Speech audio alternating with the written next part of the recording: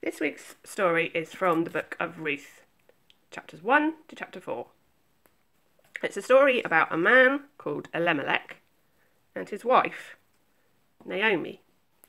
They lived in a town in Judah called Bethlehem.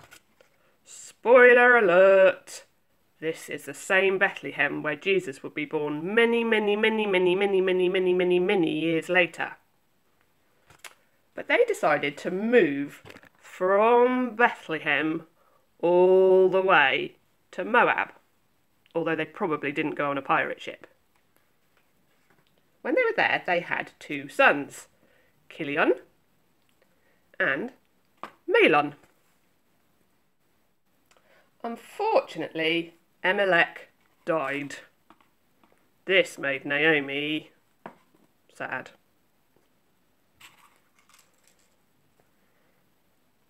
But her sons got married. One to Orpah, not to be confused with American talk show host Oprah Winfrey. And one got married to Ruth, not to be confused with one of the many Ruths who are part of the Lower Earley Baptist Church family. This made Naomi happy.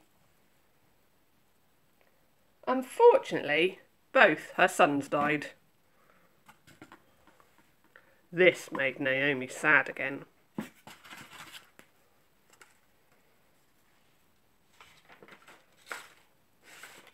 She decided to go back all the way from Moab to Bethlehem, still not in a pirate ship. Her daughters in law, Orpah and Ruth, wanted to go with her. But Naomi said no, they should stay in Moab and find new husbands. So Orpah said, OK, see ya. But Ruth said, no. Where you go, I will go. And where you stay, I will stay. Your people will be my people, and your God will be my God. So they travelled all the way back to Bethlehem. Still no pirate ship, and probably not even a little donkey. When they got there, they had to find some way to survive. So Ruth went to a field to glean corn. This basically means picking up all the bits of food that nobody else wanted to eat. Yuck!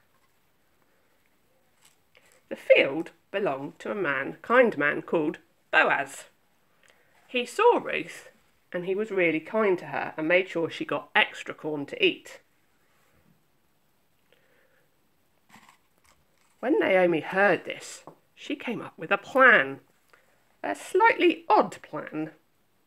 She told Ruth to go back to Boaz's field and when he was asleep, to lie down at his feet. So Ruth agreed.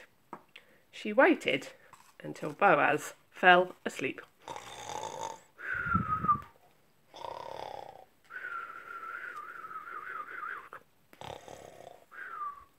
And she tiptoed in and laid at his feet. When Boaz awoke, huh? he was surprised. Well, wouldn't you be surprised to find a lady sleeping at your feet?